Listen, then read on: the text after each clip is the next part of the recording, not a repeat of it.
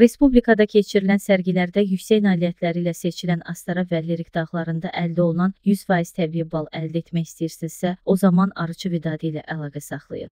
051 546 39 39 Xalq artisti Vaqif Əsədovun nəvəsi Emil dünyasını dəyişib.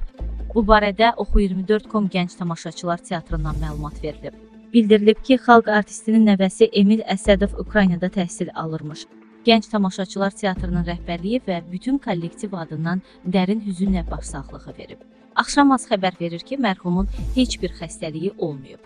Gənc tamaşaçılar teatrının mətbuat xidmətindən verilən məlumata görə Emil qəfildən vəfat edib.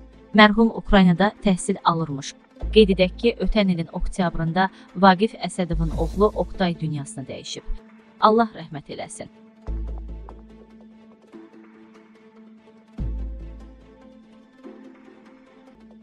Sabaha gözlənilən hava proqnozu açıqlanıb. Milli Hidrometeorologiya Xidmətindən Oxu24.com-a verilən məlumata görə, sabah Bakıda və Abşeron yarımadasında hava şəraitinin dəyişkən buludlu olacağı, arabir tutulacağı, əsasən yağmursuz keçəcəyi gözlənilir. Lakin gecə və səhər bəzi yerlərdə çiskinli yağış yağacağı ehtimalı var. Mülayim cənub küləyi əsəcək. Havanın temperaturu Abşeron yarımadasında gecə 3-5 dərəcə isti, gündüz 7-9 dərəcə isti, Bakıda gecə 3-5 dərəcə isti, gündüz 7-9 dərəcə isti olacaq. Martın 15-də Azərbaycan rayonlarında havanın əsasən yağmursuz keçəcəyi, lakin axşam bəzi yerlərdə yağıntılı olacağı gözlənilir. Arabir duman olacaq.